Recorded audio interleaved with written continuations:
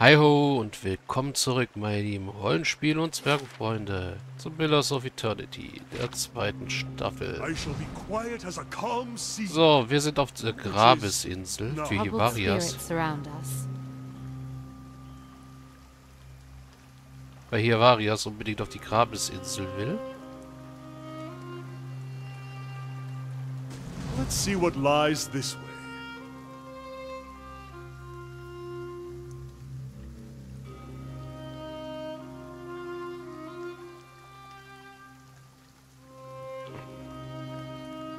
Also gehen wir einfach mal auf die Grabesinsel für Hivarias. Und finden hier Pöffgras.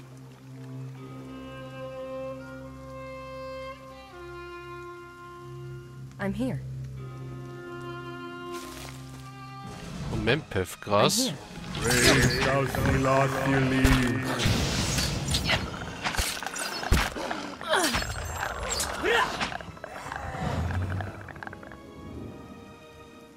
Ja, und Hivarius können wir auch mal wieder den Nahkampf schicken.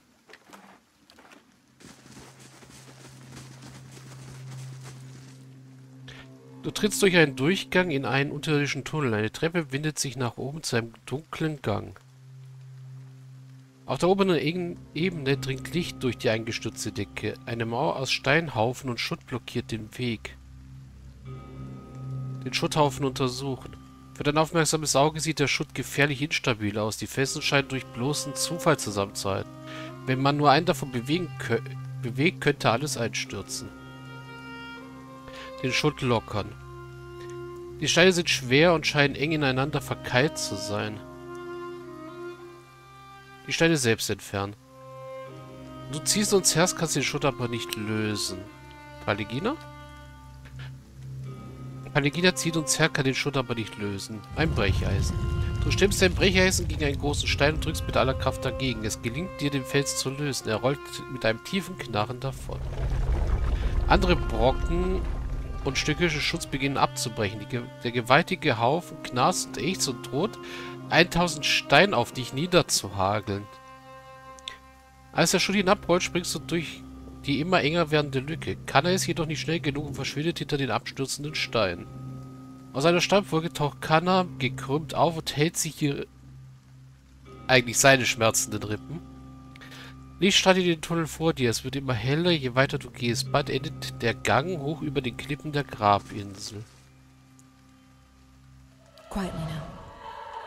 Ja, und Kanna hat jetzt gebreite Rippen. Mhm.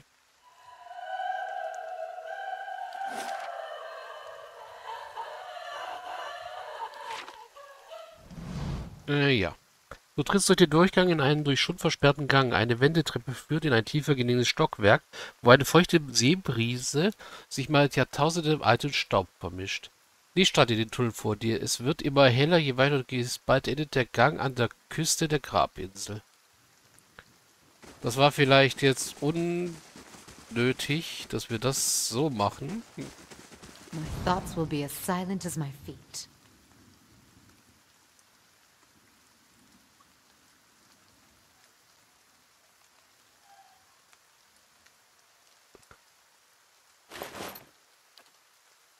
Schriftrolle Mondquelle und Geld. Okay.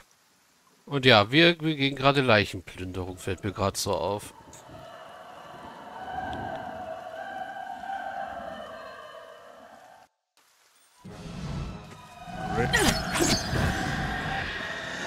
Oh, die kann...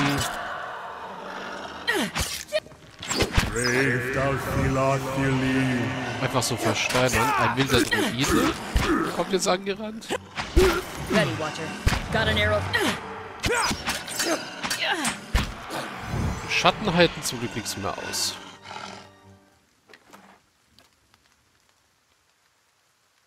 Kutte, Geisterreste.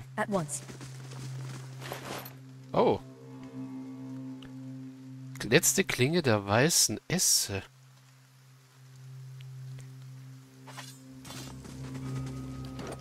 Was ist das für ein Schwertchen? Vergleichen wir es mal. Ist auf jeden Fall weniger wert als mein aktuelles, was man hier ziemlich gut sehen kann an dem ganzen Zeug, was es kann.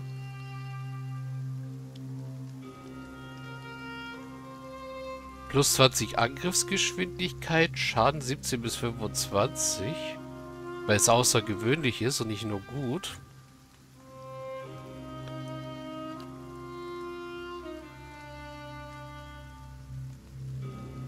Ja, für außergewöhnlich bräuchte ich ein Vitrak-Hirn. Und das könnte ich sowieso nicht. Hm, hm.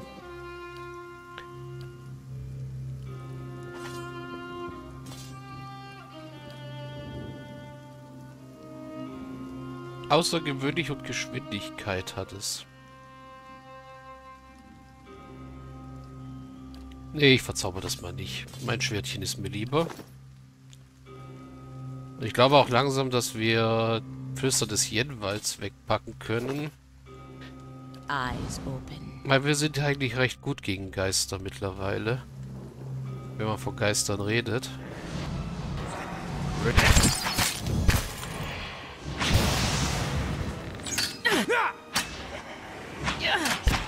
Settle!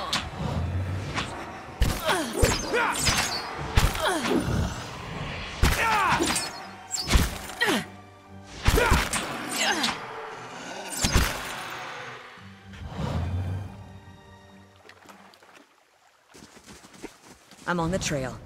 Wir nehmen auch fast keinen Schaden mehr.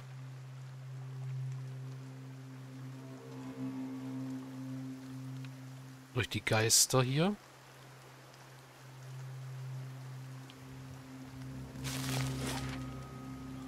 Gräberfelder, Gräberfelder, versperrte Passage.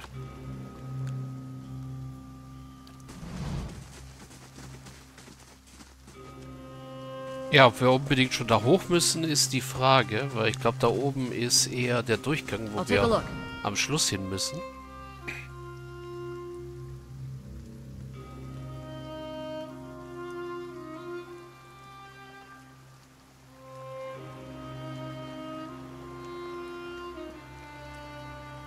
Oh, hier sind versunkene Ruinen sogar.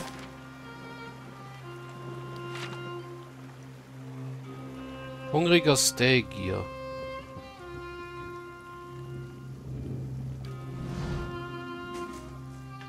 Skeven. Der Mauner vor dir steht stolz und reglos da. Er lächelt breit und zeigt dabei mehrere schiefe sowie fehlende Zähne. Er zeigt fehlende Zähne, gut. Sein Körper ist der eines jungen Mannes, doch sein erschöpftes und faltiges Gesicht scheint älter zu sein. Er ist ein Sammelsurium aus zusammengeflickten Fellen und Pelzen von den unterschiedlichsten Tieren gekleidet. Von seinem Gürtel hängen mehrere blutige Skalps und Fingerknochen geflochtene Haarsträhnen von Menschen, Edirern, Zwergen und Orlanern. Er mustert dich mit einem Grinsen, doch sein Blick kommt rasch auf Hivarias zu und er neigt den Kopf, als er den Orlaner von Kopf bis Fuß betrachtet. Wie nennt man dich, Kleiner? Dein Geruch ist mir vertraut, doch dein, Name, doch dein Name nicht bekannt. I am Haravius, child of the Fisher Crane, adept of the Hawk and Ivy, wanderer of Eretha. Too formal? Hivarias tritt vor, streckt die Brust heraus und verschränkt die Arme. Ich bin Hivarias, Kind der Fischerkraniche, Adept des Habicht- und Efeu-Zirkels, Wanderer von Vereta. Seine Stimme ist laut und triumphal, doch kaum hat er seine Vorstellung abgeschlossen, tritt er einen Schritt zurück und flüstert ihr zu, zu formell. Der Mann vor euch räuspert sich, ein katzenartiges Grollen tief aus seiner Brust. Einen Augenblick lang stellt er seine Haare auf. Ivarias. Passend. Er steckt seine rechte Hand aus und beugt die Finger. Lange schwarze Krallen schießen unter seinen schmutzigen Fingernägeln hervor. Er rollt den Kopf nach hinten und atmet tief ein und seufzt lächelnd, als würde er einen wohligen Geruch wahrnehmen. Du musstest Freunde mitbringen, ja? Ivarias, kennst du diesen Mann? Warum interessierst du dich für meinen Freund? Schweigen aber sie beide beobachtend. Du entspannst deine Augen, bis dein Verstand in der gleichen Frequenz schwingt, wie das unsichtbare Summen der Seelen. Der Mauner projiziert eine blendende Aura aus Rot, Gold und Orange. Der Herbstschein umgibt seine gewaltige Gestalt. Wo seine Füße den Boden berühren, siehst du ein Netzwerk aus Wurzeln und Adern, das von seinen Füßen ausgeht und tief in, die Erde, in der Erde versinkt. Du blickst zu Ivarias und siehst Wurzeln aus seinen Füßen ragen, wie Spiegelbilder der Ranken, die das Ga die aus Gatten wachsen. Oder Skaften wachsen. Diese Wurzeln der Seenenergie treffen sich zwischen den zwei Männern und schlängeln sich dann als eine knorrige Wurzel tief in die Erde. Du spürst, dass diese zwei Männer getrennte Seelen besitzen, aber eine gemeinsame Vergangenheit. Sie sind ein Abzweig in einer ansonsten durchgehenden Linie. Ihr zwei teilt dieselbe Vergangenheit, tragt aber getrennte Seelen in euch. Wer bist du? Nehmen wir die eins. Eine gemeinsame Vergangenheit. Skaften kratzt sich an, seinem an seiner fellbesetzten Wange. Eine holprige Analogie. Der, der ich in meinem letzten Leben war, wurde in meinem Kreislauf der Wiedergeburt verringert. Vergeudet, damit dieser Kümmerling leben kann. Kümmerling? Ivarias runzelt die Stirn und ballt die, ballt die Fäuste fe so fest zusammen, dass du eine Kakophonie knackender Fingergelenke hörst. Und es ist nicht deine Seele. Nun ja, nicht direkt jedenfalls. Er stolpert über seine Gedanken und sein Zorn verpufft. Hatte Herbstanker dich aufgesucht? Was willst du von Hiva Hi Hiravias? Ich sag immer Hivarias, er heißt ja Hiravias. Ich habe das R immer übersehen und niemand killert mich auf. Hiravias. Hatte Helmstelgier dich aufgesucht? Aufgesucht? Geprüft, geformt. Das wäre die richtige Sichtweise. Skatten blickt Iravias abfällig an. Ich dachte bisher, es sei eine Auszeichnung, doch anscheinend kann sogar ein halbwüchsiger Halbmann sie erlangen. Das nimmt ihr doch einiges von ihrem Glanz, will ich meinen. Halbmann, Iravias, blickt ihn zornig an. Sein gutes Auge zuckt und sein Fell sträubt sich. Große Worte von einem Mann, der gleich an seinem eigenen Blut ersticken wird. Was willst du von Iravias?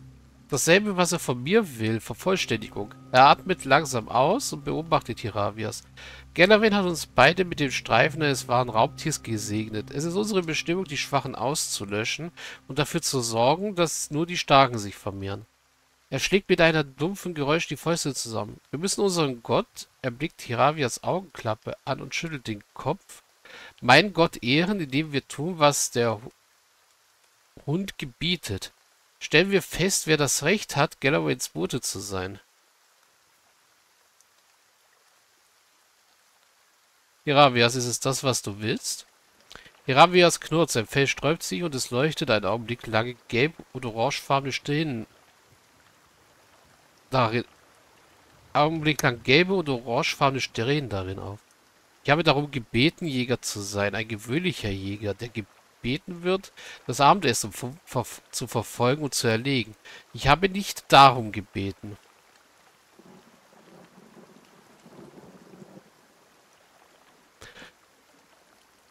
Wayne hat dich zu diesem Augenblick geführt, damit du verstehst, nicht damit du jammerst. Du hast Galloway um Stärke gebeten und bist zornig, dass du mehr bekommen hast, als du wolltest? Ja, irgendwie bin ich immer noch mehr auf der Galloway-Seite, weil Wayne finde ich seit dem zweiten Teil schlimmer als Galloway. Auch wenn ich Galloway nicht mag. Deswegen Galloway. Du hast wohl recht. Er errötet angesichts der Bemerkung und blickt zu seinen Füßen. Mir fehlte Stärke und ich bat Galloway um Hilfe. Und eine Lektion, die er mich lehrte, war, bitte nicht, nimm. Also bitte nicht, sondern nimm. Seine Hand fährt in seinen Wams und holt sein verrostetes eisernes Hundeamulett aus seiner Tasche. Ich war Zeug auf Galloway. Ich hätte zornig auf mich selbst sein müssen. Ich habe Macht erhalten, große Macht. Und ich habe meine Energie darauf vergeudet, den Preis für diese Gabe zu verfluchen. Den Kontakt zu meinem Stamm zu verlieren, das war der Preis dafür, Macht zu erbitten. Er gleitet mit dem Daumen über die eingeprägte Metallikone von Galloway. Sein Nagel kratzt an einem Jahr kratzt ein Jahrzehnt Rost und Schmutz weg. Meine Wächterfreundin, seine Stimme ist tief, fast Gold. Ich muss diese Angelegenheit klären. Und damit springt er auf Skatten zu.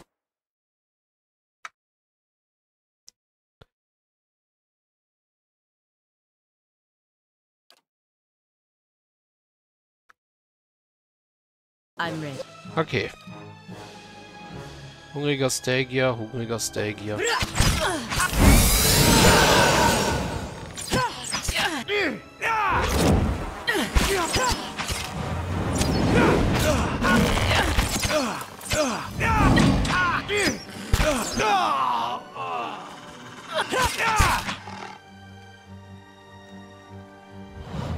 So.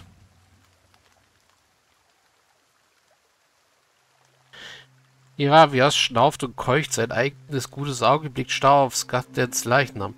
Er wippt seinen Fuß beim vor zurück, während von seinem Fell Blut und Schweiß herabtropfen. Vielleicht erwartet er, dass sich der Leichnam wieder erhebt.